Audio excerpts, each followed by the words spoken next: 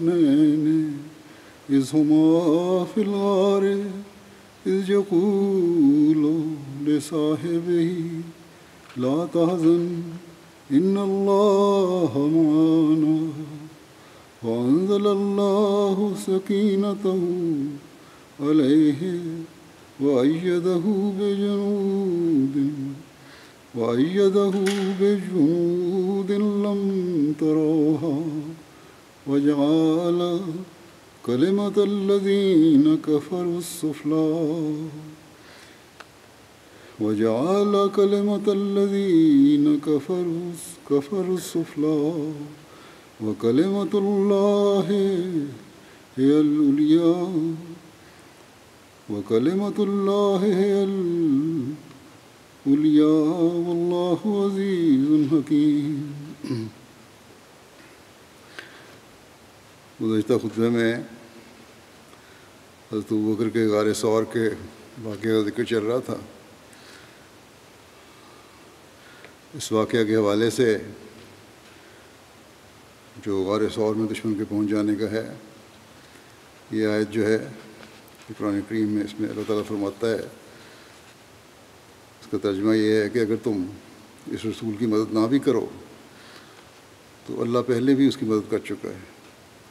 जब उसे उन लोगों ने जिन्होंने कुफर किया, वतन से निकाल दिया था, इस हाल में कि वो दो में से एक था, जब वो दोनों गार में थे, और वो अपने साथी से कह रहा था कि गम न कर, यकीनन अल्लाह हमारे साथ बस अल्लाह ने उस पर अपनी सकीनत नादल की और उसकी ऐसे लश्करों से मदद की जिनको तुमने कभी नहीं देखा।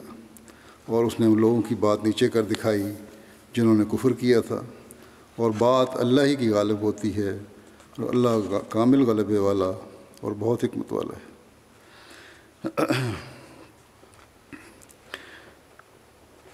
कुरान शरीफ में वारिस और के वाक़े के हवाले से ये ज़िक्र है। कुफार मक्का गार के दहाने पर खड़े बातें कर रहे थे कि हज़रत अबू बकर उन्हें सुनकर घबरा गए कि अगर नबी अकरम वसल्लम को यहाँ पकड़ लिया गया तो क्या बनेगा? सारा इस्लाम तो गोया इसी ज़ात से बाबरक़ात का वजूद वजूद था। नबी अकरम वसल्लम के मतलब इस घबराहट को जब आपने देखा, आप वसल्लम ने जब देखा हजू बकर की नई घबराहट पैदा हो रही है, आमद ने फरमाया लाता इन अल्लाह माना गम न करो बकर लेकिन हमारा खुदा हमारे साथ है आ हजूर वसल्लम का पीछा करते हुए जब वो लोग गार सौर के पहाड़ के पास पहुँचे तो सुराग रसा ने कहा मुझे पता नहीं चल रहा कि इसके बाद इन दोनों ने कहाँ अपने कदम रखे हैं और जब वो गार के करीब हो गए तो सुराग रसा ने कहा कि अल्लाह की कसम जिसकी तलाश में तुम लोग आए हो, वो यहाँ से आगे नहीं गया।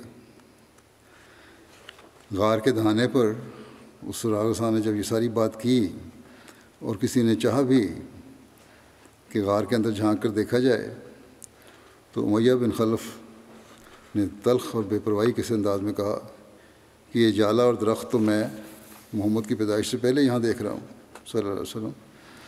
तुम लोगों का दिमाग चल गया। वो यहाँ कैसा, कहाँ हो सकता है? और यहाँ से चलो, किसी और जगह इसकी तलाश करें। और ये कहते हुए सब लोग वहाँ से वापस चले आए। उसमें बशीर साहब नसीर ख़ातम नबीन में क्रैश मक्का के ऐलान और नबी करीम वसल्लम को पीछा करने के बारे में जो फ़िक्र फरमाया, वो इस तरह है कि उन्होंने आम ऐलान किया। कि जो कोई भी मोहम्मद सल्लल्लाहु अलैहि वसल्लम को ज़िंदा या मुर्दा पकड़ कर लाएगा, उसको एक सौ ऊँट इनाम दिए जाएँगे।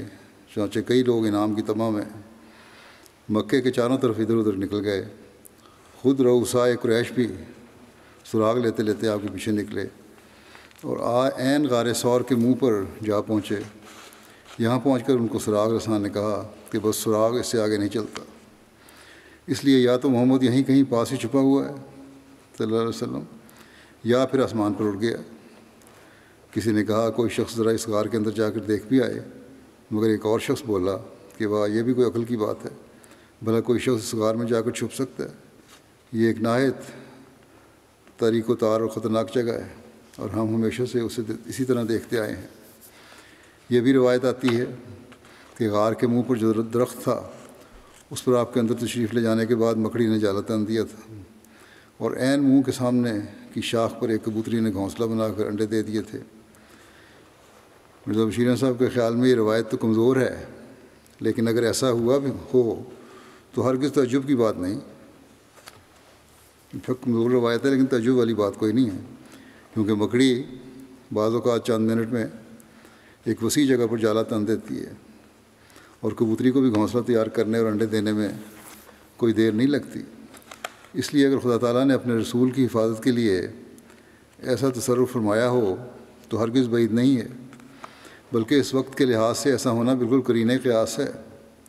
बहरहाल, कुरैश में से कोई शख्स आगे नहीं बढ़ा और यहीं से सब लोग वापस चले गए। रवायत आती है, आगे लिखते हैं कि रवायत आती है, कुरैश इस कदर करीब पहुँच गए थे कि उनके पाँव गार के अंदर से नज़र आते थे और उनकी आवाज़ सुनाई देती थी। उस मौके पर हज़रत बकर ने घबरा कर मगर आहिस्ता से आ हज़रत वसल्लम से अर्ज़ किया कि, या रसूल्ला कुरैश इतने करीब हैं कि उनके पाँव नज़र आ रहे हैं।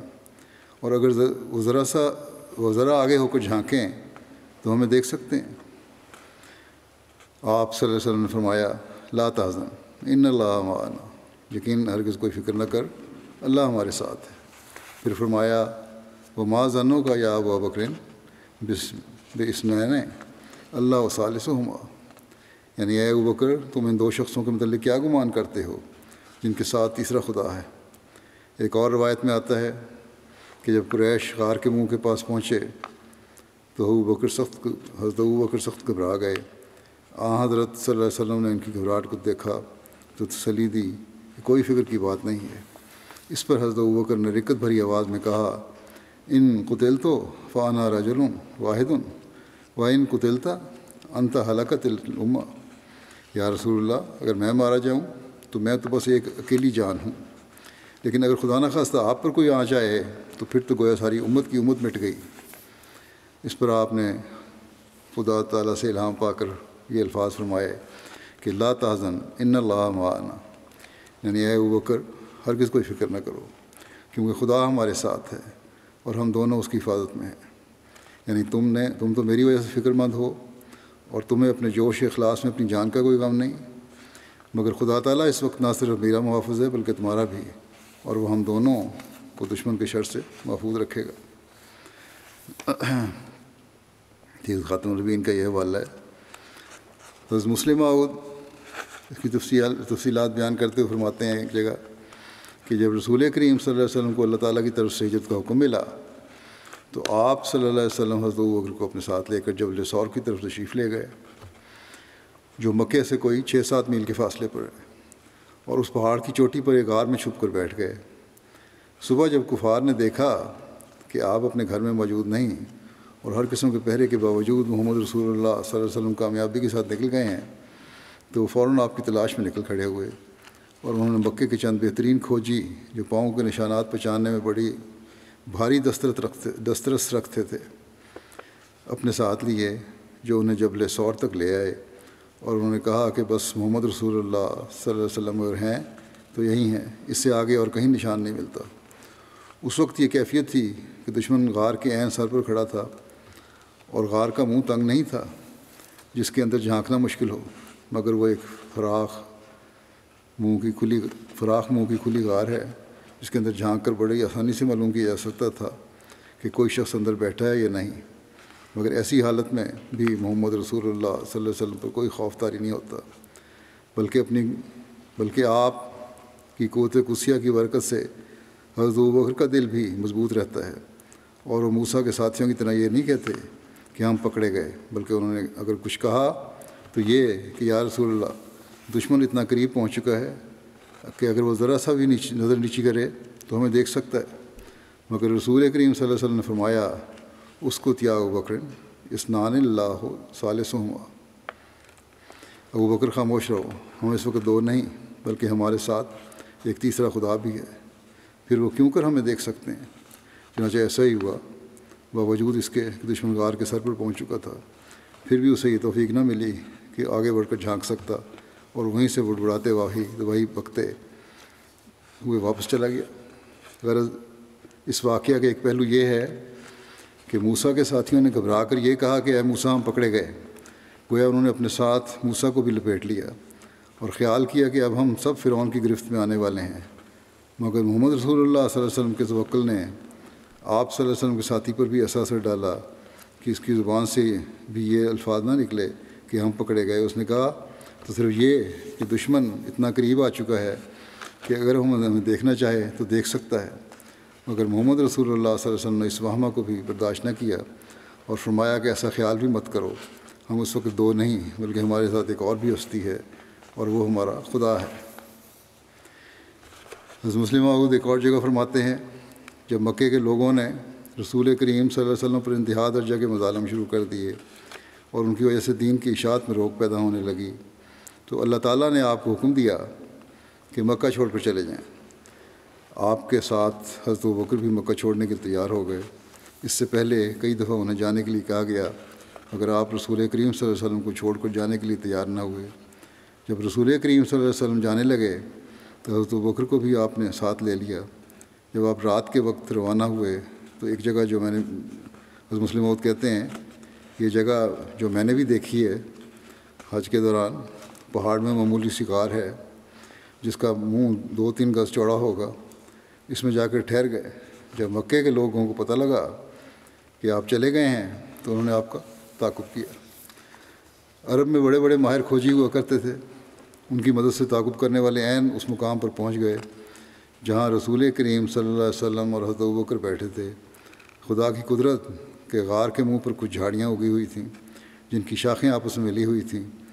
अगर वो लोग शाखों को हटाकर अंदर देखते तो रसूल करीम सल्लल्लाहु वसल्लम और हज़रत अबू बकर बैठे हुए नज़र आ जाते। जब खोजी वहाँ पहुँचे तो उन्होंने कहा कि या तो वो आसमान पर चढ़ गए हैं, या यहाँ बैठे हैं। इससे आगे नहीं गए। ख्याल करो, उस वक्त कैसा नाजुक मौका था। उस वक्त होकर घबराए, मगर अपनी ज़ात के लिए नहीं, बल्कि रसूल करीम वसल्लम के लिए उस वक्त रसूल करीम ने फरमाया, ला तहज़न इन माना। घबराते क्यों खुदा ताला हमारे साथ है। अगर रसूल करीम वसल्लम खुदा ताला को अपनी ज़ात में ना देखते तो किस तरह मुमकिन था कि ऐसे नाजुक वक्त में घबरा ना जाते? कवि से कवि, दिल ग्रोह का दिल गुर्दे का इंसान भी दुश्मन से सर पर आ जाने से घबरा जाता है। मगर रसूल करीम अलैहि वसल्लम के बिल्कुल करीब, बल्कि सर पर आपके दुश्मन खड़े थे। और दुश्मन भी वो जो तेरह साल से आपकी जान लेने के दरपे थे और जिन्हें खोजी ये कह रहे थे कि या तो वो आसमान पर चढ़ गया है या यहाँ बैठे हैं। उस जगह से आगे नहीं गए। उस वक्त रसूल करीम वसल्लम फरमाते हैं, ला तहसन इन अल्लाह माना खुदा ताला हमारे साथ है। तुम्हें घबराने की क्या ज़रूरत है? ये खुदा ताला का इरफान ही था जिसकी वजह से आप सल्लल्लाहु अलैहि वसल्लम ने ये कहा। आप सल्लल्लाहु अलैहि वसल्लम खुदा ताला को अपने अंदर देखते थे। और समझते थे कि मेरी हलाकत से खुदा ताला के इरफान की हलाकत हो जाएगी इसलिए कोई मुझे हलाक नहीं कर सकता। हज़रत मसीम सलाम फरमाते हैं हज़रत ईसा इस्लाम ने अपनी रफ़ाकत के लिए सिर्फ़ एक ही शख्स अख्तियार किया था यानी धूमा को। जैसा कि हमारे नबी सल्लल्लाहु अलैहि वसल्लम ने मदीना की तरफ़ हिजरत कर, करने के वक्त सिर्फ़ हज़रत अबू बकर को इख्तियार किया था क्योंकि सल्तनत रोमी हज़रत ईसा को बागी करार दे चुकी थी। और इसी जुर्म से पीला तो उसकी कैसर के हुक्म से कत्ल किया गया था, क्योंकि वो दरपर्दा हज़रत ईसा का हामी था और उसकी औरत भी हज़रत ईसा की मुरीद थी। बस ज़रूर था कि हज़रत ईसा इस मुल्क से पोशीदा तौर पर निकलते, कोई काफ़िला साथ न लेते। इसलिए उन्होंने इस सफ़र में सिर्फ़ धूमा हवारी को साथ लिया, जैसा कि हमारे नबी सल्लल्लाहु अलैहि वसल्लम ने मदीना के सफ़र में सिर्फ़ अबू बकर को साथ लिया था। और जैसा कि हमारे नबी सल्लल्लाहु अलैहि वसल्लम के बाकी असाब मुख्तलिफ़ राहों से मदीना में आ हज़रत सल्लल्लाहु की खिदमत में जा पहुँचे थे। ऐसा ही हज़रत ईसा अलैहिस्सलाम के हवारी मुख्तलिफ़ राहों से मुख्तलिफ़ वक्तों में हज़रत की खिदमत में जा पहुँचे थे। फिर एक जगह हज़रत मसीम फरमाते हैं कि हज़रत अबू बकर सिद्दीक रदी अल्लाह का सिद्क उस मुसीबत के वक्त ज़ाहिर हुआ जब आ हज़रत सल्लल्लाहु अलैहि का मुआसरा किया गया। गो बाज़ कुफ़ार की राय अखराज की भी थी, मगर असल मकसद और कसरत राय आपके कत्ल पर थी। ऐसी हालत में हज़रत बकर ने अपने सिद्क और वफा का वो नमूना दिखाया, जो अब्दुल्लाबाद तक के लिए नमूना रहेगा। इस मुसीबत की घड़ी में आ हज़रत अलैहि वसल्लम का ये इंतखब ही हज़रत बकर सिद्दीक रदी अनहो के, अनहो की सदाकत और आला वफादारी की एक ज़बरदस्त दलील है। यही हाल आ हज़रत के इंतखब का था। उस वक्त आपके पास सत्तर अस्सी साहबा मौजूद थे, जिनमें हज़रत अली रज़ी रज़ी अल्लाह भी थे। मगर उन सब में से आपने अपनी रफ़ाकत के लिए हज़रत अबू बकर रज़ी अल्लाह को ही इंतखब किया। इसमें सिर क्या है? बात यह है कि नबी खुदा ताला की आँख से देखता है और उसका फ़हम अल्लाह ताला ही की तरफ़ से आता है। इसलिए अल्लाह ताला ने ही हज़रत वसल्लम को कश्फ के ज़रिए और इल्हाम से बता दिया कि इस काम के लिए सबसे बेहतर मौजूद हज़रत अबू बकर रज़ी अल्लाह अन्हो ही है। अबू बकर इस सात उसर में आपके साथ हुए। ये वक्त ख़तरनाक आजमाइश का था। हज़रत मसीह पर जब इस किस्म का वक्त आया तो उनके शागिर्द उनको छोड़कर भाग गए और एक ने लानत भी की, मगर सहाबा कराम में से हर एक ने पूरी वफादारी का नमूना दिखाया। गरज हज़रत अबू बकर रज़ी अल्लाह ने आपका पूरा साथ दिया। और एक गार में जिसको गार सौर कहते हैं। आप जा छुपे शरीर कुफार जो आपकी इजार आसानी के लिए मंसूबे कर चुके थे तलाश करते हुए उस गार तक पहुँच गए। हज़रत बकर सिद्दीक रज़ी ने अर्ज़ की कि अब तो ये बिल्कुल सर पर ही आप पहुँचे हैं और किसी ने ज़रा पीछे निगाह की तो देख लेगा और हम पकड़े जाएँगे। उस वक्त आपने फरमाया, ला तहज़न इन माना, कुछ गम न खाओ, अल्लाह ताला हमारे साथ है। इस लफ्ज़ पर गौर करो कि आ हज़रत अलैहि वसल्लम हज़रत अबूबकर सिद्दीक को अपने साथ मिलाते हैं। चुनाच फरमाया इन अल्लाह माना। माना में आप दोनों शरीक हैं, यानी अल्लाह ताला तेरे और मेरे साथ है। अल्लाह ताला ने एक पल्ले पर आ हज़रत वसल्लम और दूसरे पर हज़रत सिद्दीक को रखा है। इस वक्त दोनों इब्तला में हैं, क्योंकि यही वो मुकाम है जहाँ से या तो इस्लाम की बुनियाद पड़ने वाली है या ख़ात्मा हो जाने वाला है। दुश्मन गार पर मौजूद हैं और मुख्तलिफ़ किस्म की राय जनियाँ हो रही हैं। बाज़ कहते हैं कि इस गार की तलाशी करो, क्योंकि निशान निशान पा यहाँ तक ही आकर ख़त्म हो जाता है। लेकिन उनमें से बाज़ कहते हैं कि यहाँ इंसान का गुज़र और दखल कैसे होगा? मकड़ी ने जाला तना हुआ है, कबूतर ने अंडे दिए हुए हैं। इस किस्म की बातों की आवाज़ें अंदर पहुँच रही हैं और आप बड़ी सफ़ाई से उनको सुन रहे हैं। ऐसी हालत में दुश्मन आए हैं कि वो ख़ात्मा करना चाहते हैं और दीवाने की तरह बढ़ते आए हैं। लेकिन आपकी कमाल शुजात को देखो कि दुश्मन सर पर है और आप सल्लल्लाहु अलैहि वसल्लम अपने रफ़ीक सादिक सिद्दीक को फरमाते हैं, ला तहज़न इन माना। ये अल्फाज बड़ी सफ़ाई के साथ ज़ाहिर करते हैं कि आप सल्लल्लाहु अलैहि वसल्लम ने ज़ुबान ही से फरमाया क्योंकि ये आवाज़ को चाहते हैं। इशारे से काम नहीं चलता। बाहर दुश्मन मशरा कर रहे हैं और अंदर गार में खादम और मखदूम भी बातों में लगे हुए हैं। इस अमर की परवाह नहीं की गई कि दुश्मन आवाज़ सुन लेंगे। ये अल्लाह ताला पर कमाल, ईमान और मार्फत का सबूत है। खुदा ताला के वादों पर पूरा भरोसा है। आ हज़रत सल्लल्लाहु अलैहि वसल्लम की शुजात के लिए तो ये नमूना काफ़ी है। फिर हज़रत मसीम फरमाते हैं एक और मुकाम पर कि अल्लाह जल्ला शाह ने अपने नबी मासूम के महफूज रखने के लिए ये खारक आदत दिखलाया कि बावजूद के मुखालफी गार तक पहुँच गए थे, जिसमें आ हज़रत सल्लल्लाहु माँ अपने रफ़ीक के मख्फी थे, मगर वो आ हज़रत सल्लल्लाहु को देख ना सके, क्योंकि खुदाए ताला ने एक कबूतर का जोड़ा भेज दिया, जिसने उसी रात गार के दरवाज़े पर आशाना बना दिया और अंडे भी दे दिए। और उसी, इसी तरह इज़न इलाही से अनकबूत ने इस पर, उस गार पर अपना घर बना दिया। जिससे मुखालिफ लोग धोखे में पड़कर नाकाम वापस चले गए।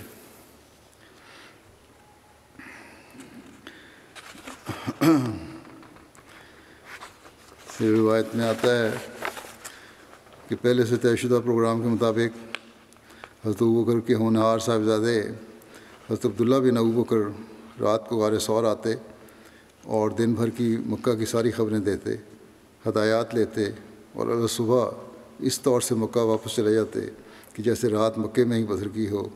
और साथ ही आमिर बिन फुहरा की जहानत को, जहानत है कि रात को दूध वाली बकरियों का दूध देने के बाद बकरियों के रेवड़ को इस तरह वापस लाते कि हज़रत अब्दुल्ला बिन अबू बकर के कदमों के निशान, निशानों को भी साथ साथ मिटा दिया जाता। बाद सीरत निगारों ने तो ये भी बयान किया है कि हज़रत स्मार रोज़ाना खाना लेकर आया करती थी। लेकिन ये जो है वहीदत बात है सही राय है बाज़ों की, कि इस ख़तरे के आलम में एक ख़ातून का रोज़ाना इधर आना राज फाश करने के मुतरद है। और जबकि अब्दुल्ला बिन अबू बकर रोज़ाना आ रहे थे तो फिर हज़रत के खाना लाने की क्या ज़रूरत हो सकती थी? बारह अल्लाह बेहतर जानता है। लेकिन, तीन दिन इसी तरह गुजर गए मक्के वाले जब करीबी जगहों की तलाश से फारग होकर नाकाम हो गए तो उन्होंने वहाँ मुशावरत से एक बहुत बड़े इनाम का ऐलान करते हुए इर्द गिर्द की बस्तियों में रिंडोरची भेज दिए, जो ऐलान कर रहे थे कि मोहम्मद सल्लल्लाहु अलैहि वसल्लम को ज़िंदा या मुर्दा लाने की सूरत में एक सौ ऊँट इनाम दिया जाएगा। इतने बड़े इनाम के लालच ने कई लोगों को आ हज़रत सल्लल्लाहु अलैहि वसल्लम की तलाश के लिए फिर से ताज़ा दम कर दिया। दूसरी तरफ़ तीन दिन मुकम्मल होने पर हसब वादा अब्दुल्ला बिन औरैकत ऊँट लेकर आ गया। सही बुखारी की एक रवायत में ये ज़िक्र है कि अब्दुल्ला बिन औरैकत से ये वादा ठहराया गया था कि वो तीन दिन के बाद सुबह के वक्त ऊँट ले पहुँचेगा। इस रवायत से ये तसर मिलता है कि गार सौर से मदीना की तरफ़ रवानगी सुबह के वक्त शुरू हुई थी। मगर बुखारी की दूसरी रवायत में ये बात मौजूद है कि सफ़र रात के वक्त शुरू हुआ था। जहाज़ मिर्ज़ा बशीर अहमद साहब ने अब्दुल्ला बिन रकत का ज़िक्र करते हुए लिखा है कि आ हज़रत हज़रत बकर ने उसे पहले से अपनी ऊँटनियाँ स्पुर्द कर रखी थीं और समझा रखा था कि तीन रात के बाद तीसरे दिन की सुबह ऊँटनियाँ लेकर गार सौर में पहुँच जाए। चुनाचे वो हसब करार दाद पहुँच गया। ये बुखारी की मशहूर रवायत है, मगर मौरखीन लिखते हैं कि आदर वसल्लम रात को रवाना हुए थे और ख़ुद बुखारी की ही एक दूसरी रवायत में इसकी तस्दीक पाई जाती है। और करीन क्यास भी यही है कि आप सल्लल्लाहु अलैहि वसल्लम रात को रवाना हुए हों। रसूल करीम वसल्लम पीर की रात के यकम रबी अव्वल को गार से निकल कर रवाना हुए। इब्न साद के मुताबिक आप रबी अव्वल की चार तारीख को पीर की रात गार से रवाना हुए। पहली तारीख खमीस की रवायत है। सही बुखारी के शार अलामा इबन हजर असकलानी लिखते हैं कि इमाम हाकिम ने कहा कि इस बारे में मुतवातर आ रहा है कि हजूर सल्लल्लाहु अलैहि को मक्के से निकलना पीर के दिन था और मदीना में दाखिल होना भी पीर के दिन था। सवाए मोहम्मद बिन मूसा ख्वारज़मी के, जिसने कहा कि अहद रसोल्लम मक्के से जुमेरात के रोज़ निकले। अलामा इबन हजर इन रवायात में तदबीक करते हुए लिखते हैं कि रसूल करीम वसल्लम मक्के से तो जुमेरात को निकले थे और गार में जुमा हफ़्ता और इतवार तीन रातें क़याम करने के बाद पीर की रात को मदीने के लिए रवाना हुए।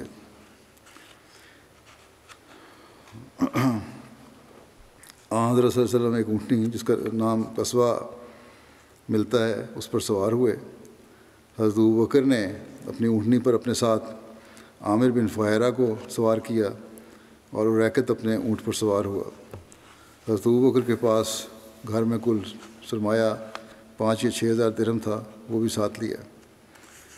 बाद रवायत के मुताबिक आमिर बिन फ़हरा और हज़रत असमा खाना लेकर आ गईं और जिसमें बकरी का भुना हुआ गोश्त था। लेकिन यहाँ पहुँच कर ख्याल आया कि खाना और मशकीदा बांधने के लिए कोई कपड़ा वगैरह नहीं है तो तस्मा ने अपना निताक खोल कर दो हिस्से किए। एक से खाना और एक से मुश्किल का मुँह बांधा।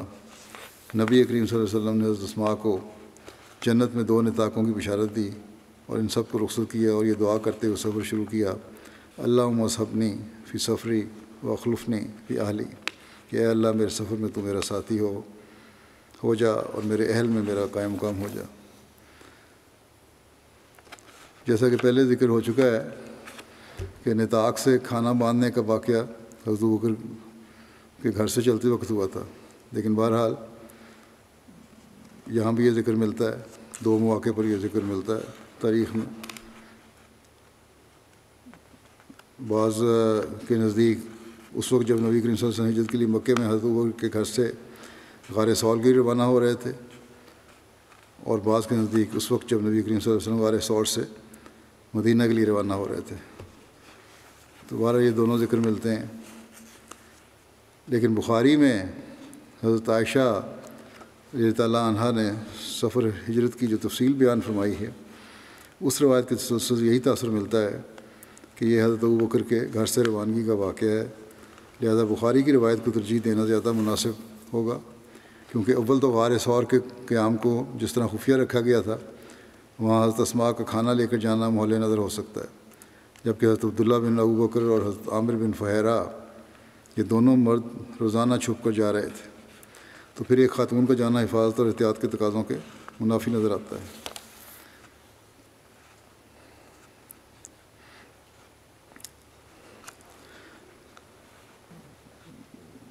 बहरहाल, घर में भी नताक से खाना बांधने के जो वाक़ है, उसमें भी हज़रत असमा की फ़िदाइत और वालियाना मोहब्बत की झलक भी नुमायाँ होती है कि बजाय इसके कि इस वक्त खाना बांधने के लिए कोई और चीज़ ढूँढने में वक्त ज़ाया करें। गार में तो कहा जा सकता है ना गार में वाक़ होगा क्योंकि वहाँ कोई चीज़ नहीं थी। लेकिन घर में भी ये वाक़ हो सकता है कि फौरी तौर पर कोई चीज़ ना मिली हो और वक्त ज़ाया होने का खदशा हो। तो अपना अपना कमर बंद खोल कर खाना बाँध कर हजू बकर अहमद रसम को रुख्सत किया। इसलिए बुखारी की रवायत के मुताबिक ये ज़्यादा दुरुस्त मालूम होता है कि खाना बांधने का वाक़ तो बकर घर से रुख्सत होने का होगा। ना कि गौर गार सौर से मदीना की तरफ़ सफ़र के आगाज़ का। बार आलम। हज़रत तस्मा बयान करती हैं कि जब अलैहि वसल्लम हज़रत बकर और हज़रत बकर रज़ी हो हिजरत के लिए निकले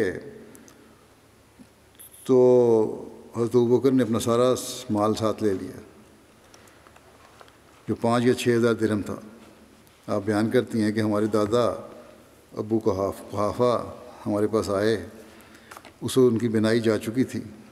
उन्होंने कहा, अल्लाह की कसम, मेरा ख्याल है कि वो, यानी हज़रत बकर, अपनी ज़ात के साथ साथ अपने माल के ज़रिए भी तुम लोगों को मुसीबत में डाल गया इस पर दसमा कहती हैं, मैंने कहा कि नहीं, दादा जान, हरगिज़ नहीं। वो तो हमारे लिए बहुत सा माल छोड़ गए हैं। आप फरमाती हैं कि मैंने कुछ पत्थर लिए और उनको घर के उस रोशनदान में रख दिया जहाँ मेरे वालद माल रखा करते थे और फिर मैंने उन पर कपड़ा डाल दिया और अपने दादा का हाथ पकड़कर मैंने कहा, दादा जान, इस माल पर अपना हाथ तो रखें। बस उन्होंने उस पर अपना हाथ रखा और कहा, कोई हरज नहीं। अगर वो तुम्हारे लिए इतना कुछ छोड़ कर गया है तो फिर उसने अच्छा किया है। वह तस्मा फरमाती हैं, अल्लाह की कसम, हज़रत बकर हमारे लिए कुछ भी छोड़ कर नहीं गए थे, मगर मैं चाहती थी कि इस बुज़ुर्ग को इस तरह इतमान दिला सकूँ। मिर्ज़ा बशीर अहमद साहब ने लिखा है, गार सौर से रवानगी का ज़िक्र करते हुए कि गार सौर से निकल कर आप एक ऊँटनी पर, जिसका नाम बाद रवायात में अलकस्बा बयान हुआ है, सवार हो गए। और दूसरी पर बकर और उनका खादम आमिर बिन फ़हरा सवार हुए। रवाना होते हुए आपने मक्की की तरफ़ आखिरी नज़र डाली और हसरत के अल्फाज में फरमाया, ए मक्के की बस्ती, तू मुझे सब जगहों से ज़्यादा अज़ीज़ है, मगर तेरे लोग मुझे यहाँ रहने नहीं देते। उस वक्त हज़रत बकर ने कहा, इन लोगों ने अपने नबी को निकाला है, अब ये ज़रूर हलाक होंगे। हज़रत मुस्लिम फरमाते हैं कि दो दिन उसी गार में इंतज़ार करने के बाद पहले से तय की हुई तजवीज़ के मुताबिक रात के वक्त गार के पास सवारियाँ पहुँचाई गईं और दो तेज़ रफ्तार ऊँटनियों पर मोहम्मद रसूल वसम और आपके साथ ही रवाना हुए। एक ऊँटनी पर मोहम्मद रसूल वसल्लम और रास्ता दिखाने वाला आदमी सवार हुआ। ये भी एक रवायत में आता है कि दोनों थे एक सवार में थे। एक में यह है कि तीन ऊँटनियाँ थीं बहरहाल और दूसरी ऊँटनी पर हज़रत बकर और उनका मुलाजिम आमिर बिन फहरा सवार हुए। मदीना की तरफ़ रवाना होने से पहले रसूल करीम वसल्लम ने अपना मुँह मक्के की तरफ़ किया। उस मुक़द्दस शहर पर जिसमें आप पैदा हुए, जिसमें आप मबूस हुए और जिसमें हज़रत इस्माईल अलैहिस्सलाम के ज़माने से आपके अवा अजदाद रहते चले आए थे, आपने आखिरी नज़र डाली और हसरत के साथ शहर को मुखातब करते हुए फरमाया, ए मक्के की बस्ती, तू मुझे सब जगहों से ज़्यादा अज़ीज़ है, मगर तेरे लोग मुझे यहाँ रहने नहीं देते। उस वक्त हज़रत बकर ने भी नायत अफसोस के साथ कहा, इन लोगों ने अपने नबी को निकाला है, अब ये ज़रूर हलाक होंगे। एक रिवायत के मुताबिक, जब जोफ़ा मुकाम पर पहुँचे, ये जोफ़ा जो है, ये मक्का से तकरीबन बयासी मील के फासले पर है। तो ये आयत नाजल हुई इन लजी फ़राज़ा अलैकल कुरान लारादो का इला मुआद। यकीन वो जिसने तुझ पर कुरान को फ़र्ज़ किया है, तुझे ज़रूर एक वापस आने की जगह की तरफ़ वापस ले आएगा। सारी रात ये सफ़र जारी रहा। यहाँ तक कि जब दोपहर का वक्त होने लगा तो एक चट्टान के साय में काफ़िला istirahat के लिए रुका। हज़रत बकर ने बिस्तर किया और नबी अकरम वसल्लम से आराम फरमाने की दरख्वास्त की। चुनाचे नबी वसल्लम लेट गए। फिर हज़रत बकर बाहर निकल गए, ता देखें कि ताकुब करने वालों में से कोई आ तो नहीं रहा। इतने में दूर से बकरियों का एक चरवाहा भी साय की तलाश में उधर आ निकला। हज़रत बकर कहते हैं कि मैंने उससे पूछा, लड़के तुम किसके ग़ुलाम हो? उसने कहा कुरैश के एक शख्स का हूँ। उसने उसका नाम लिया और मैंने उसको पहचान लिया। मैंने कहा, क्या तुम्हारी बकरियों में कुछ दूध है? उसने कहा हाँ। मैंने कहा, क्या तुम हमारे लिए कुछ दूध दो दोगे उसने कहा हाँ। चुनाचे मैंने उसे दूध दोहने के लिए कहा। उसने अपनी बकरियों में से एक बकरी की टांग अपनी पिंडली और रान के दरमियान पकड़ ली। फिर मैंने उसको कहा कि पहले थन को अच्छी तरह साफ़ करो, फिर अपनी निगरानी में दूध बर्तन में डलवाया। उसमें पानी डाला ताकि दूध की हिद्दत कम, कुछ कम हो जाए। और दूध आ हजूर वसल्लम की खिदमत में पेश किया। बाद रवायत में है कि जब हजूर बकर दूध लेकर हाजिर हुए तो नबी अकरम वसल्लम अभी तक सोए हुए थे। हज़रत अबू बकर ने मुनासिब न समझा कि आपके आराम में खलल किया जाए, चनाचे आपके बेदार होने का इंतज़ार करने लगे। बेदार होने पर दूध पेश किया और अर्ज़ किया, या रसूलल्लाह, पिए। और आपने इतना पिया कि हज़रत बकर कहते हैं कि मैं खुश हो गया। फिर मैंने कहा, या रसूलल्लाह, कूच का वक्त आ पहुँचा है। आपने फरमाया हाँ। या एक रवायत में ये ज़िक्र है कि नबी अकरम वसल्लम ने फरमाया कि अब सफ़र दोबारा शुरू किया जाए। अर्ज़ किया गया, जी हाँ मेरे आका चुनाचे सफ़र फिर शुरू हुआ। सुराका बिन मालिक का ताकुब, इसका वाक़ यह है कि रैकत जैसे माहिर रास्ता शनास की निगरानी में साहली बस्तियों की जानब से मदीने की तरफ़ ये सफ़र शुरू किया गया था, जो कि मदीने के अमूमी रास्ते से मुख्तलिफ़ रूट था। मक्का और इसके इर्द गिर्द की बस्तियों में सौ ऊँट इनाम का ऐलान आम हो चुका था और बहुत से लोग चाहते थे कि ये गिरा कदर इनाम उन्हें मिले। सुराका बिन मालिक बयान करते हैं, बाद में ये मुसलमान हो गए थे, और इस्लाम लाने के बाद उन्होंने ख़ुद ये वाक़ बयान किया है कि हमारे पास कुफ़ार कुरैश के एलची आए, उन लोगों ने रसूलुल्लाह सल्लल्लाहु अलैहि वसल्लम और हज़रत हर दो की दियत मुकर की हुई थी। उन लोगों के लिए जो इन दोनों को कत्ल करेगा या उन्हें ज़िंदा पकड़ लेगा। सुराका कहते हैं कि मैं अपनी कौम बनु मुदलिज की एक मजलिस में बैठा हुआ था कि एक शख्स उनके सामने से आया और हमारे पास खड़ा हुआ, जब हम, जबकि हम बैठे हुए थे। तो उसने कहा कि, ऐ सुराका, मैंने साल की तरफ़ कुछ साय से देखे हैं। या कहा कि तीन अफराद का एक काफ़िला जाते हुए देखा है।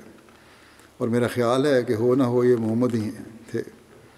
सुराका बिन मालिक कहते हैं कि, मैं जान गया कि वाकई ये मोहम्मद का ही काफ़िला होगा, लेकिन मैं नहीं चाहता था कि मेरे साथ कोई और इस इनाम में शरीक हो। इसलिए मैंने फ़ौर मौके की नज़ाकत को संभाला और उसे बताने वाले, और इस बताने वाले को आँख से इशारा किया कि वो खामोश रहे। और ख़ुद मैंने कहा, नहीं नहीं, वो मोहम्मद का काफ़िला नहीं हो सकता। बल्कि जिन लोगों का तुम ज़िक्र कर रहे हो, वो तो अभी हमारे सामने से गुजर के गए हैं। वो बनू फलाँ हैं, जो अपनी गुमशुदा ऊँटनी की तलाश में जा रहे थे। सराका कहते हैं कि मैं कुछ देर इसी मजलिस में रहा, ताकि किसी को शक न गुजरे। और फिर अपनी एक खात्मा को कहा कि वो मेरी फ़लाँ तेज़ रफ्तार घोड़ी को लेकर घर के पीछे फ़लाँ जगह पर खड़ी हो और मेरा इंतज़ार करे। और कुछ देर के बाद वो ख़ुद वहाँ पहुँच गया और बयान करते हैं कि मैंने फ़ाल निकाली, लेकिन इस सफ़र के ख़िलाफ़ निकली। लेकिन मैंने परवाह नहीं की और घोड़ी को एड़ लगा कर हवा हो गया और तेज़ी से इस काफ़िले का पीछे करने लगा, जो मैं समझता था कि हज़रत मोहम्मद सल्लल्लाहु अलैहि वसल्लम का ही काफ़िला है। सराका कहते हैं कि मंजिल पर मंजिलें मारते हुए मैं जल्द ही उस काफ़िले के करीब पहुँच गया और अभी कुछ ही फासले पर था कि मेरी घोड़ी ने खिलाफ मामूल ठोकर खाई कि मैं उससे गिर पड़ा। फिर मैं उठ खड़ा हुआ और मैंने फ़ाल निकाल ली और फ़ाल फिर मेरे इरादे के ख़िलाफ़ निकली।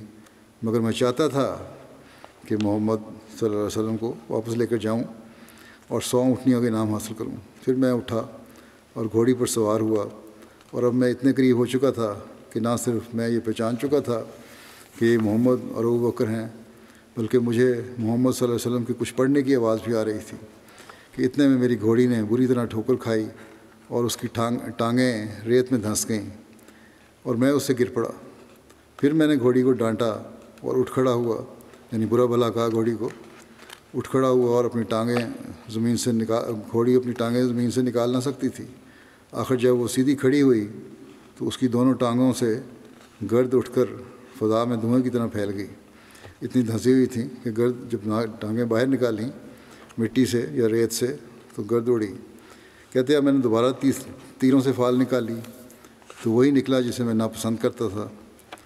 मैंने वहीं से अमान की आवाज़ लगाई और कहा कि मेरी तरफ़ से आप लोगों को कोई नुकसान नहीं पहुँचेगा। इस पर रसूल वसल्लम ने हज़रत बकर से फरमाया कि इससे पूछो कि वो क्या चाहता है। उसने कहा कि मैं सराका हूँ और आप लोगों से बात करना चाहता हूँ। इस पर वो रुक गए। सराका बताने लगा कि मक्का वालों ने उनके ज़िंदा या मुर्दा पकड़े जाने पर सौ ऊँट इनाम मुकर किया है और मैं इसी लालच में आपका ताकुब करते हुए आया हूँ। लेकिन जो कुछ मेरे साथ हुआ है, इससे मैं इस यकीन पर कायम हूँ कि मेरा ताकुब दुरुस्त नहीं है। इसने नबी अकरम सल्लल्लाहु अलैहि खिदमत में आज़ाद राह वगैरह की पेशकश भी की। लेकिन आप सल्लल्लाहु अलैहि वसल्लम ने कबूल ना फरमाया। बस ये कहा कि हमारे बारे में किसी को ना बताना। उसने ये वादा किया और साथ ये भी अर्ज़ किया कि मुझे यकीन है कि आप एक दिन बादशाहत हासिल कर लेंगे। मुझे कोई अहद और पैमान लिख दें कि इस वक्त, उस वक्त जब मैं आपकी खिदमत में हाज़िर हूँ तो मुझसे इज़्ज़त और एहतराम से पेश आया जाए। बाद रवायात के मुताबिक उसने अमान की तहरीर के लिए दरख्वास्त की थी। चुनाच नबी अकरम वसल्लम के इशात पर उसको वो तहरीर हज़रत बकर ने और एक रवायत के मुताबिक आमिर बिन फ़हरा ने लिख कर दी और वो ये तहरीर लेकर वापस आ गया। ये अभी ज़िक्र इन आइंदा भी चलेगा। कल इन नया साल भी शुरू हो रहा है। अल्लाह ताला आने वाले साल को अफराद जमात के लिए, जमात के लिए मैंने असल जमात हर लिहाज से बरकत फरमाए। हर किस्म के शर से जमात को महफूज रखे और दुश्मन के जो जमात के ख़िलाफ़ मनसूबे हैं, हर मनसूबे को खाक में मिला दे। हज़रत मसीम से जो अल्लाह ताला ने वादे किए हैं, उन वादों को हम भी अपनी ज़िंदगियों में कसरत से पूरा हुआ, होता हुआ देखें। हमें अल्लाह ताला ये नज़ारे भी दिखाए। बस बहुत दुआएँ करते रहें। नए साल में दुआओं के साथ दाखिल हों। तहजद का भी ख़ास अहतमाम करें, बाद मसाजिद में हो भी रहा है, बाकी जहाँ नहीं है वहाँ भी करना चाहिए। इनफरादी तौर पर और तौर पर नहीं तो इनफरादी तौर पर भी और घरों में भी तहजद की नमाज़ ज़रूर ख़ास तौर पर अदा करनी चाहिए, दुआ करनी चाहिए। अव्वल तो ये मुस्तकिल आदत होनी चाहिए। और लेकिन कल से जब पढ़ें या रात रात से तो इसको भी कोशिश करें कि मुस्तकिल हिस्सा ज़िंदगी का बन जाए। अल्लाह ताला इसकी तोफ़ीक भी दे सबको। ये दुआएँ भी दरूद शरीफ और इस्तफ़ार के अलावा कसरत से पढ़ा करें कि रब्बना लातुज़ी क़लूबना बाद हदायतना वहबलना मिलत उनका रहमतन इन्ना का अंतल वहाब। यह हमारे रब, हमारे दिलों को टेढ़ा ना होने दे। बाज इसके कि तू हमें हदायत दे चुका हो और हमें अपनी तरफ़ से रहमत अता कर। यकीन तू ही बहुत अता करने वाला है। फिर ये भी दुआ पढ़ें। रब्बना अगफिरलना जुनूबना व इसराफ़ना फ़ी अमरना व सब तकदामना वनसरना अलकौमिल काफिरीन कि ए हमारे रब हमारे गुनाह बख्श दे और अपने मामले में हमारी ज़्यादती भी और हमारे कदमों को सबात बख्श और हमें काफिर कौम के ख़िलाफ़ नुसरत अता कर अल्लाह ताला इसकी तौफीक दे हर अहमदी को इस वक्त मैं बाज़ जुमे के बाद नमाज़ के बाद बाज़ जनाज गायब भी पढ़ाऊँगा उनका ज़िक्र भी करना चाहता हूँ। पहला ज़िक्र है मुकरम मलक फ़ारूक अहमद खोकर साहब का, जो ज़िला मुल्तान के अमीर रहे हुए हैं। अठारह दिसंबर को इनकी वफ़ात हुई अस्सी साल की उम्र में। इन्ना लाह व इन्ना लहर राजमन इनके वालिद मुकरम मलक उमर अली खोकर साहब थे, जो रईस मुल्तान कहलाते थे। और वालदा सैदा नुसरत जहाँ बेगम साहिबा सैदा बेगम के नाम से जाना जा, जानी जाती थी। हज़रत मीर मोहम्मद इसहाक साहब की बेटी थी। मलक उमर अली साहब ने अहमदियत कबूल की थी अपनी जवानी में, हज़रत खलीफा सानी के दौर में, कादियान जाकर इन्होंने बैत की सादत हासिल की थी।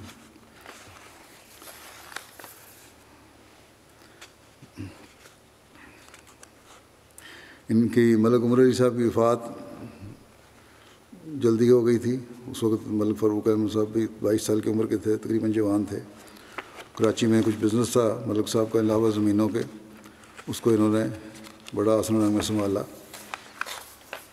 और अपनी वालदा, दो वालदा थीं और उनकी और बहन भाइयों की का बड़ी परवरिश की। मलक फ़ारूक खोकर साहब लंबा अर्सा कायद ज़िला मुल्तान कायद मजलिस खुदाम ज़िला मुल्तान और फिर कायद इलाका मुल्तान की हैसियत से काम करते रहे।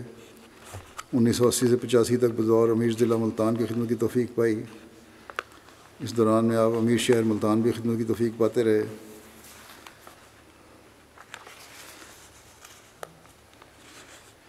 इनकी शादी उन्नीस सौ अठासठ में हज़रत मिर्ज़ा साहब की बेटी दुर्दाना साहिबा से हुई थी। तो खलीम सालिस ने निकाह पढ़ाया था। अल्लाह ताला ने आपको एक बेटे और पाँच बेटियों से नवाजा। आपकी अहलिया बयान करती हैं कि बहुत ही मोहब्बत करने वाले और ख़्याल रखने वाले थे छोटी छोटी बातों का ख्याल रखते, बाकायदा तहजद पढ़ते और मुझे भी रोज़ाना तहजद के लिए उठाते थे। जिस दिन वफ़ात हुई है उस रात भी नफल पढ़े और नमाज़ पढ़ी और फिर सो गए। हर वक्त बावजूद रहने की कोशिश करते थे। कहते हैं जब अभी अमीर जमात नहीं थे लेकिन किसी अहमदी का कोई मसला होता किसी वक्त किसी का आ, जाता या उसका फ़ोन आ जाता तो फौरी तौर पे काम के लिए तैयार होते।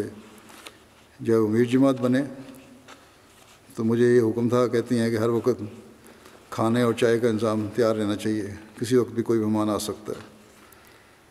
कहती हैं मुझे नहीं याद कभी मेरा घर मेहमानों से खाली हो या कोई ना कोई मुस्तकिल आके ठहरा हो बाज़ मुरबियान को भी घर में ठहराते थे। घर जो था, वो दफ्तर ही बना रहता था। बहुत खुले दिल के और दिल से मोहब्बत करने वाले थे। सब गैर अहमदी रिश्तेदार, बल्कि पूरा खोकर ख़ानदान, उनकी बहुत इज़्ज़त और एहतराम करता था, मोहब्बत करता था। उन्होंने हमेशा इनसे खूब निभाया। अल्लाह ताला के फजल से कुरान मजीद की तिलावत बहुत अच्छी थी। कहती हैं कि जब तिलावत करती थी मैं तो मेरी तिलावत को बगैर कुरान मजीद खोले असलाह करते थे। उनके बेटे तला कहते हैं कि अपनी दोनों माओं का बहुत ख्याल रखा और कभी फ़र्क नहीं किया। और अपनी तमाम बहनों, भाइयों की शादियाँ भी खुद ही करवाईं। इनका घर हमेशा इनके दिल की तरह हर एक के लिए खुला था ख़ास तौर पर वक्फी ने जमात के लिए। एक घर था इनका खैर गली मरी में। और कहा करते थे, ये तो मैंने बनाया है जमात के लिए, कभी किसी को इनकार नहीं किया जो भी जाके रहना चाहता था, रहता था वहाँ। उन्नीस सौ चौरासी के हुकूमती आर्डनेंस के बाद के आजमाइशी दौर में खुदा के फजल से कहते हैं कि अपनी दिलराना पर्सनैलिटी से मुल्तान ज़िला और शहर के तमाम साथियों को हमेशा हिम्मत हिम्मत दिलाते रहे, कभी कमज़ोर नहीं पड़ने दिया।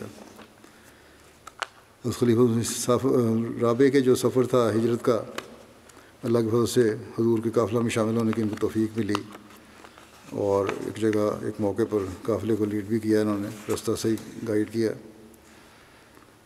लिखते हैं इनके बेटे कि अब्बा की इमारत के दौरान हमारा घर घर से ज़्यादा दफ्तर बना होता था, खूब रौनक होती थी। ज़मीनों का काम अपने छोटे भाई के स्पुर्द कर दिया और अपना तमाम वक्त दीन के लिए वक्फ कर दिया। हर एक आया करता था बेतकल्फ़ी से बेतकल्फ़ तबीयत थी। गैर जमात रिश्तेदारों की माली मदद भी किया करते थे। इनके कहते हैं कि उनके जनाजे में हमारे कुछ रिश्तेदार आए तो रोते हुए कहने लगे, आज हम लावारस हो गए हैं। क्योंकि उनकी मदद किया करते थे। कहते हैं हमेशा हमें नमाज़ की तलकिन करते ख़ास तौर पर फजर की नमाज़ की। इनकी छोटी बेटी फ़ायज़ा कहती हैं कि, अब्बा का अल्लाह पर तवक्ल हमारे लिए एक मिसाल थी। हर तरह का ज़माना देखा, नौजवानी में यतीम हुए हर तरह के हालात देखे, तंगी भी और आराम भी। मगर मैंने बचपन से देखा है कि अब्बा ने अल्लाह पर तवक्ल का बरमला इजहार किया और हमेशा कहते कि मेरे हर काम अल्लाह ताला खुद करता है। कहती हैं कि अब्बा को खिलाफत से बेानतहा मोहब्बत थी और खिलाफत का ज़िक्र करते हुए रो पड़ते थे। और एक इतला भी इन पर आया और उसको भी इन्होंने बड़े सब्र और दुआओं के साथ गुजारा।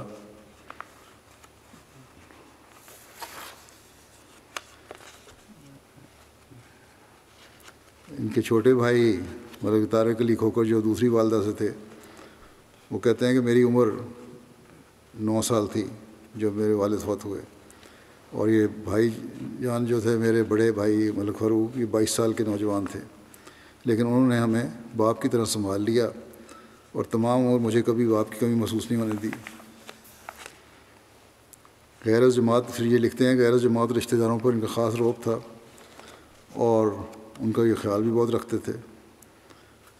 बेशुमार अहमदी ख़ानदानों की कफालत कर रहे थे।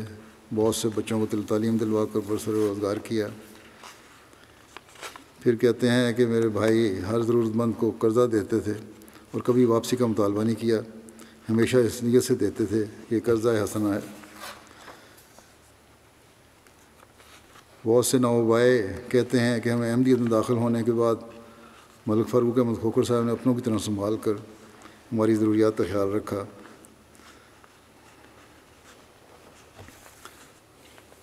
अस्सी साल के जब हुए, हो गए थे, लेकिन गुज्त दो साल से कहते हैं इनको फ़िक्र थी तो ये है कि अपनी जायदाद का हिस्सा अदा कर दूँ।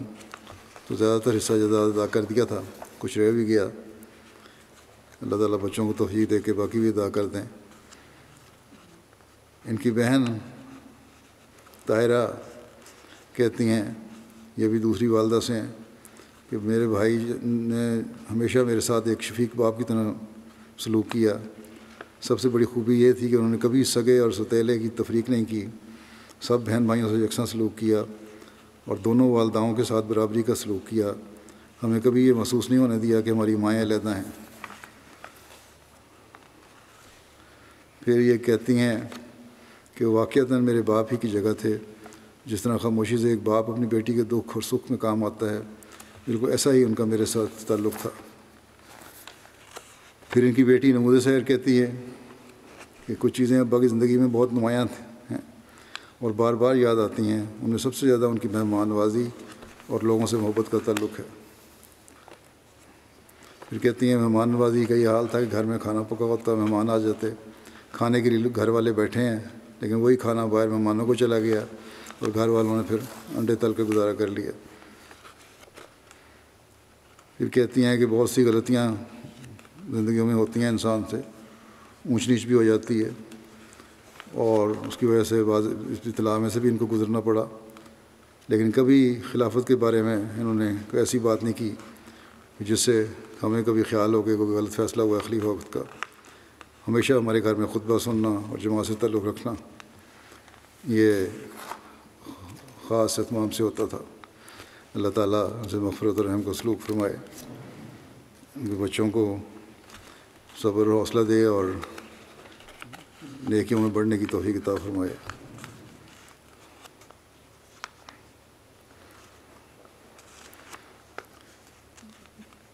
अगला ज़िक्र है रहमतुल्लाह साहब इंडोनेशिया के हैं ये। छियासठ साल की उम्र में इनकी वफ़ात हुई। इन्ना मशरक़ी जावा में इनकी पैदाइश हुई।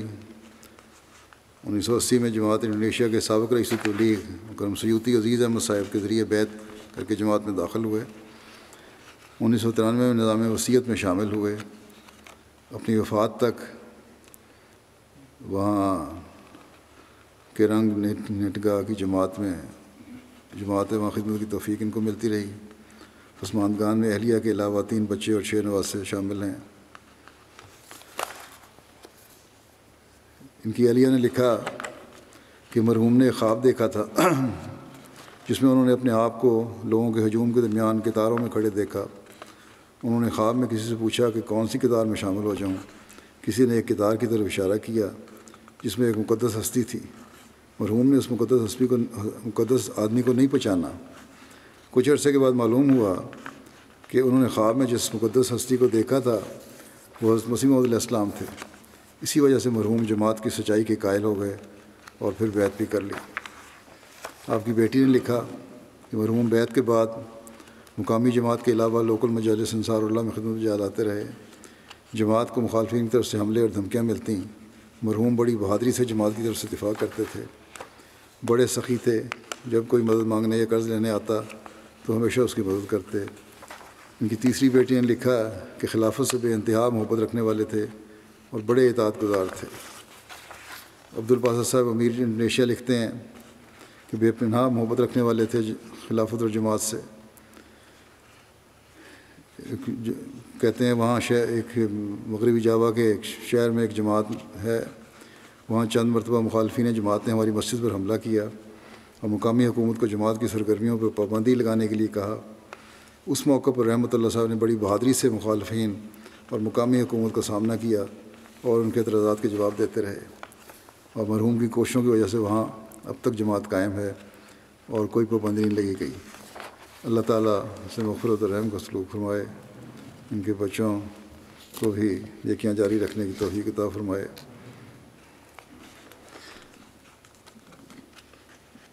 अगला ज़िक्र है अलहाज अब्दुल हमीद टाक साहब, बारी, जारीपुरा, कश्मीर का। ये 24 दिसंबर को चौरानवे साल की उम्र में इनकी वफ़ात हुई। व राजे हूँ अल्लाह ताला के फल से मूसी थे। मोहम्मद अकरम टाक साहब यारीपुरा के बेटे थे, जो इस इलाके के इब्तदाई अहमतियों में से थे। मरहूम बहुत ने एक नरम मिजाज, मिलनसार, हर दिल अज़ीज़, संजीदा मिजाज, खामोश तब बुज़ुर्ग थे। लंबा अरसा जमाती खदमात की तोफ़ी पाई। सूबाई अमीर जम्मू कश्मीर के अलावा ज़िली अमीर और नाजम अंसारुल्लाह के तौर पर खदमत की तोफ़ी पाई। मुकामी जमात ने मुकामी अहदों पर खदमत बजा लाते रहे। साल हा साल अंजमन तहरीक जदीद भारत के आज़ादी मेंबर रुकन रहे। सूबाई इमारत के दौरान उन्नीस सौ सतासी में वादी कश्मीर में पाँच जमाती स्कूलों का क़्याम भी अमल में आया इनके वक्त में। कई मसाजिद और मिशन हाउसेस की तमीर के लिए आपने बहुत मेहनत की। नौजवानों की इलमी सलाहियतों को उजागर करने और बढ़ाने के लिए काफ़ी कोशिशें करते और इस काम में हमेशा पेश पेश रहते थे। यारीपुरा के इलाके में उनकी समाजी खदमात की वजह से लोगों में आपकी बड़ी इज़्ज़त थी। अल्लाह ताला मफरत रहम का सलूक फरमाए इनसे कि नस्लों को भी नेक और साले बनाए, खिदमत की तोफ़ी देता रहे।